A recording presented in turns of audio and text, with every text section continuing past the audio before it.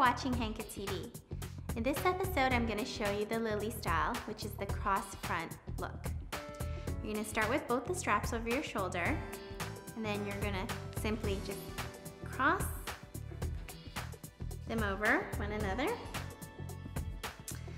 And then in the back, we're gonna do the same. One cross. You're gonna come back around to the front, pinching the edge of the fabric, giving it a quick tug. You wanna cross the two straps over one another. Do the same in the back. Bring it back around in front.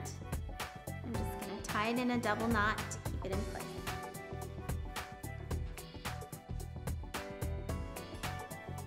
Make any adjustments as needed. And there you have it, the lily.